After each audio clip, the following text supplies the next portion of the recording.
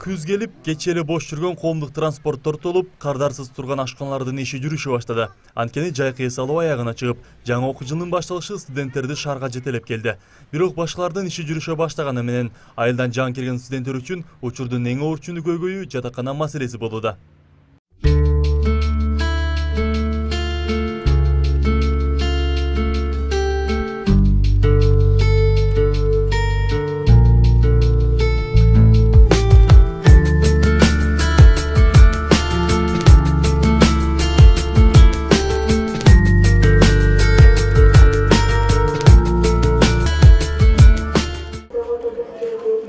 Учурда радио түйүндөрдө жарыялар илинген жайларда батир издегендердин басымдуу бөлүгү студенттер. Арасында төрт беш күндөн бери жашоосуна же болбосо акчасына ылайыктуу батир таппай шаштысы кеткендер да жок эмес.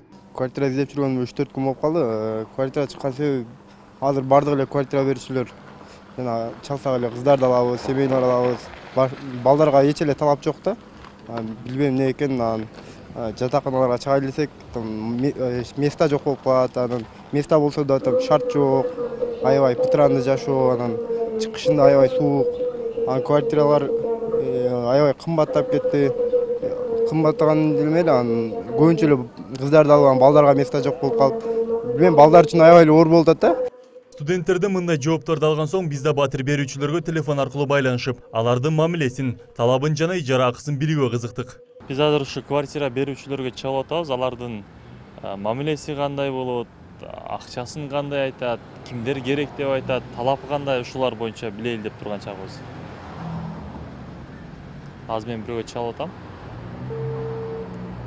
кетти байланыш. Алло саламатсыздарбы? Саламатсыз. квартира боюнча чалып атат элек? Э, квартира барбы азыр? Бар. Канча комнаталуу каерде эле Саливада Саливанын алды. Эки комнатаны жалын беребиз. а эки ко- эки комнатасынын бирөөсүн бересизби биз балдар элек да экөөбүз жок. Кыздарга. балдарга болбойбу э макул өзү негизи канчага берейин деп атасыз кыздарга Ошо төрт кызга миң сомдон. төрт кызга миң сомдон бир комнатаны э биз бир жарым миң сомдон төлөсөкчү Жок. рахмат балтыр Майын бар. башка чара төлөп берели десек да эмнегедир балдарга шарт жок деген сөз чын эле окшойт дагы бир квартирага чалып атабыз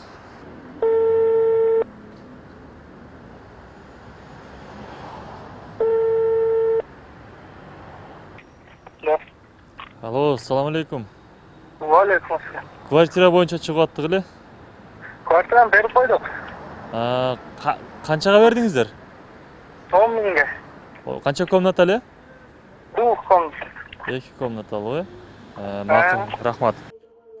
Кечээ эле жарыясы илинген батирлер бүгүн бош эмес мындан сырткары ижара акысы дагы асман чапчыйт эгерде шаардын борбордук аймагында же болбосо студенттер шаарчасы тараптан бир батир алууну кааласаңыз бир бөлмөсү он эки он үч миңден жогору ал эми шаардан бир аз четирээк аймактарда батир акысы тогуз он миң сомго чейин бул сумма албетте студенттер үчүн гана эмес мамлекеттик кызматтарда эмгектенгендер үчүн дагы оор келет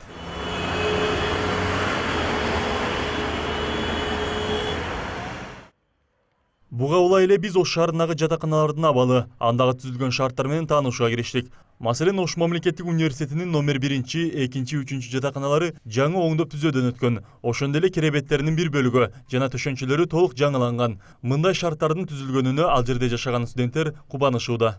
Квартирада жүргөн дос балдарга айтат элем студент балдарга кыздарга. Жатакананын жашоосу сонун. Квартирада жүрүп квартплата зарплата услугасын төлөп кыйналышат да жатаканада арзанчылык кухнясы деле кеңири жетишет студенттерге. Каждый этажда төрттөн экинен кухня бар газдары менен твопалар менен Шарт- шарттары жакшы баардыгы жетиштүү эле келип жатат жыл сайын.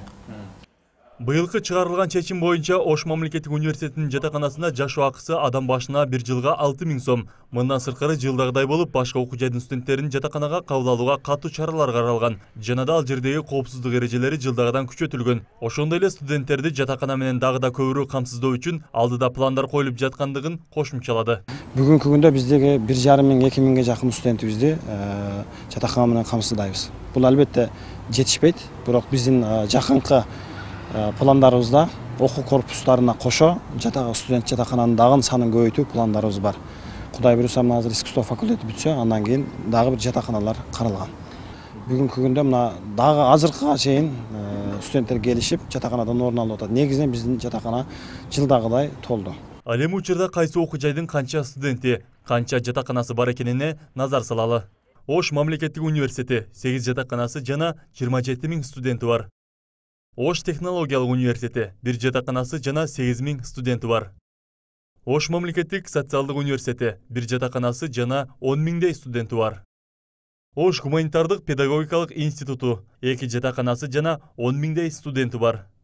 Чындыгында окуу жайлар өз студенттерин толук түрдө жатакана менен камсыз кылуу азыркы күндө көпчүлүгүбүзгө түш сыяктуу туюлат. Бирок көйгөйдүн орчундугун бир аз жеңилдетүүнүн жолдорун тапсак болот. Абай нурбальшевиков шахрух эминжанов ош бирим жаңылыктары